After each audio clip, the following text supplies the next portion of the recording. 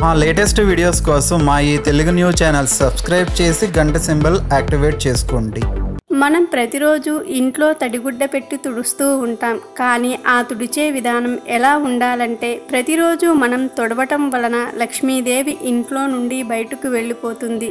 కానీ ఎలా తుడిస్తే ఇంట్లోనే ఉంటుంది? వారంలో ముఖ్యంగా ఏ రోజు తుడిస్తే లక్ష్మీ కటాక్షం కలుగుతుందో ఈ రోజు మనం తెలుసుకుందాం. ప్రతి సోమవారం శుక్రవారం బుధవారం శనివారం ఈ నాలుగు రోజుల్లో ఇల్లును గనక శుభ్రపరిచినట్లయితే లక్ష్మీదేవి ఇంట్లో స్థిర నివాసం చేస్తుంది. అలాగే ఇంటిని శుభ్రపరిచే నీటిలో కొద్దిగా గల్లుల ఉప్పును మరియు కొంచెం పసుపు వేసి ఇంటిని శుభ్రపరిచినట్లయితే లక్ష్మీ కటాక్షం కలుగుతుంది. మీ ఇంట్లో లేదా మీ గదులలో నాలుగు మూలల గల్లుల ఉప్పును పెట్టడం వలన మీ ఇంట్లో ఉన్న నెగిటివ్ ఎనర్జీ అంతా పోయి మీకు లక్ష్మీదేవి అనుగ్రహం కలుగుతుంది. మీకు లక్ష్మీ అనుగ్రహం కలగాలంటే ఇంటిని శుభ్రపరిచే విధానంలోనే ఉంటుంది. మీకు తోచిన విధంగా చేసి కష్టాల పాలవ్వకండి. కాబట్టి ఇంటిని ఇప్పుడు మనం చెప్పుకున్న రోజుల్లో గనక శుభ్రపరిచినట్లయితే లక్ష్మీ అనుగ్రహం కలుగుతుంది.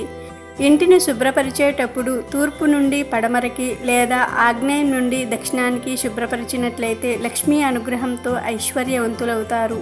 వీడియో నచ్చితే లైక్ చేయండి షేర్ చేయండి బట్ సబ్స్క్రైబ్ చేసుకోవడం మర్చిపోవద్దు.